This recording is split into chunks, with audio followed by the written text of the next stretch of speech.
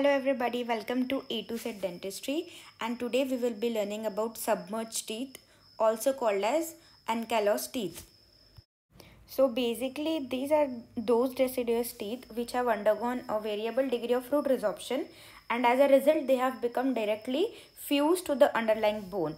So what happens is due to certain etiological factors which we'll be discussing in further slides there is some trauma to the tooth so as a result, uh, the PDL ligament which is supposed to be between the alveolar bone and the root part that is not present in such tooth and they are directly attached to the underlying alveolar bone. So now one could imagine that what would happen. So basically the first consequence will be such deciduous teeth will never exfoliate because there is no periodontal ligament and as we know that periodontal ligament plays a very vital role as far as exfoliation as well as eruption is concerned in the oral cavity. So without the periodontal ligament due to the direct fusion of the root part to the bone there is no exfoliation of such teeth and over a period of time when permanent tooth erupt the ankylosed tooth appears to be situated below the level of occlusion and thus it can also result in malocclusion. So in this picture as we can make out uh, the first picture is normal wherein we can see periodontal ligament. In second picture there is a tear in the periodontal ligament and in the third picture there is no periodontal ligament. So this is how ankylosed tooth or a submerged tooth looks like so this is how an ankylosed teeth looks like in the oral cavity. In the left side, we are unable to see any coronal portion of the tooth in the oral cavity, whereas on the right side, some part of the crown is visible. However, it lies a way below the occlusal plane.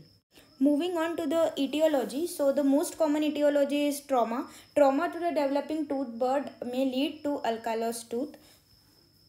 Apart from this, infection during the developmental stages of the tooth can also result in ankylosed tooth. Disturbed local metabolism can also contribute. Apart from it, genetics also play an important role. Uh, as we can see that all these factors are uh, very directly related to the developing tooth bud. So basically any of the disturbances related uh, to the tooth during its formative stages can result in such an anomaly. Moving on, this is a picture depicting an ankylosed lateral incisor, deciduous lateral incisor. So we can see that there is no coronal portion of the tooth visible into the oral cavity. However, we can just make out a small yellowish calcified mass. Apart from this, we can see that the mandibular lateral incisor appears to be supra-erupted when compared to the maxillary lateral incisor. So basically, as the deciduous lateral incisor was submerged or ankylosed, there was no eruption of the permanent lateral incisor in this case. Moving on to the clinical features, basically there is no age or sex predilection. However, um, the mandibular jaw appears to be more commonly affected than the maxillary jaw. And in uh, mandibular jaw, the second molar is most commonly affected as far as ankylosed deciduous teeth are concerned and this condition may involve a single tooth or maybe multiple tooth may be involved. Now, uh, when such a patient comes to us and we encounter more than two or three teeth involved in the same jaw, we one can suspect that over a period of time, other tooth of the same jaw may also get ankylosed.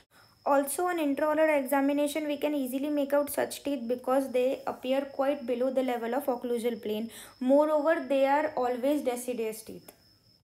Now as we know that on percussion a normal tooth imparts a dull or a cushioned sound. However an ankylosed teeth imparts a solid sound. Now this can be understood that normal teeth have an PDL ligament which is between the root and the alveolar bone. However, ankylosed teeth do not have a periodontal ligament. Therefore, there is direct fusion thus resulting in a solid sound.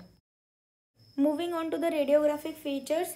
Now this is a OPG and mandibular first molar here appears to be ankylosed as clearly it lies away below the occlusal plane. Also in such teeth the PDL space is completely absent. Moving on to the treatment planning. So these teeth require surgical removal or excision. See because uh, we need to prevent the development of malocclusion in such cases. Uh, now see in this case the mandibular second molar for instance lies way below the occlusal plane. So not only it will prevent uh, the exfoliation of the deciduous teeth and also but also it will hinder the uh, its successor that is the second premolar eruption will be delayed in such cases and therefore it may directly result into malocclusion of the permanent dentition also local periodontal infection are common in such teeth and it may also lead to development of dental caries. Therefore it is very crucial to surgically remove such teeth. So that was all about ankylosed teeth. I hope you understood this topic well. See you next time. Bye bye